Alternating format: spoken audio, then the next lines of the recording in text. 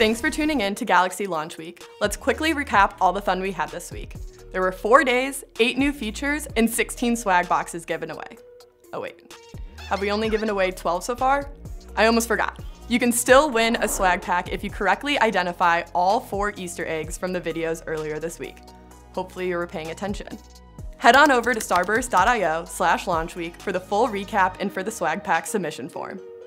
Thanks so much for tuning in.